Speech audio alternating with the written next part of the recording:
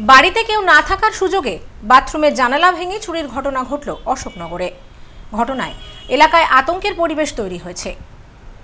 বাড়িতে কেউ না থাকার সুযোগে দুঃসাহসিক চুরির ঘটনা ঘটল অশোকনগরের প্রফুল্লনগরে। পেশায় শিক্ষক পল্লব গঙ্গোপাধ্যায়ের ছেলে কলকাতায় থাকেন। স্ত্রীও বাড়িতে ছিলেন না। বৃহস্পতিবার উচ্চ মাধ্যমিক পরীক্ষা শুরু হওয়ায় সকালে বাড়ি থেকে বের হন হাবড়া পূর্বাঞ্চল হাইস্কুলের প্রধান শিক্ষক পল্লববাবু। বিকালে বাড়ি ফেরেন। বাড়ির দরজা তালা বন্ধ অবস্থাতেই ছিল। তালা খুলে শিক্ষক দেখেন, ঘরে থাকা তিনটি আলমারির তালা ভাঙা। তছনছ করা অবস্থায় রয়েছে গোটা ঘর। দেখা যায়, বাথরুমের জানালার গ্রিল ভাঙা অবস্থায় রয়েছে। অনুমান, বাথরুমের জানালার গ্রিল ভেঙে বাড়িতে ঢোকে দুষ্কৃতীরা। তবে বাড়িতে তেমন গহনা ছিল না বলেই জানান ওই শিক্ষক।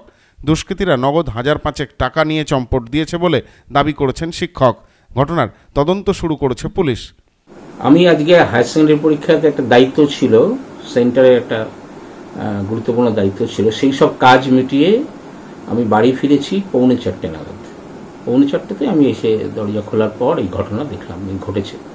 এসে দেখলাম চারিদিকে তিনটে আলমারি, একটা কাঠের আলমারি, দুটো লোহার আলমারি খোলা, হাট করা, ওগুলোতে লক আমি লাগিয়ে যাই না, খোলা থাকে, চাবি ওখানে লাগানোই থাকে, সেগুলো দরজা একদম আলমারির দরজা হাট করে খোলা এবং ভেতরটা লন্ড ভন্ড সারা ঘর। টয়লেটের স্টেয়ারকেস ভেঙে ওখান থেকে রড বাঁকিয়ে ঢুকছে এই রকম ভাবেই প্রায় দুটো তিনটে, গোটা চারেক ডাকাতি হয়েছে, তার দুটো তিনটে এইভাবেই ঘটেছে, একই রকমভাবে। Bureau report, news no man's land, Ashoknagar.